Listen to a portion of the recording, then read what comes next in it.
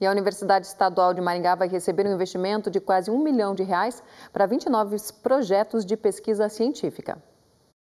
Boa noite. Para os próximos dois anos, a Universidade Estadual de Maringá vai receber investimento de 954 mil para pesquisas básicas e aplicadas. O investimento vem por meio de fomento da Fundação Araucária de Apoio ao Desenvolvimento Científico e Tecnológico do Paraná.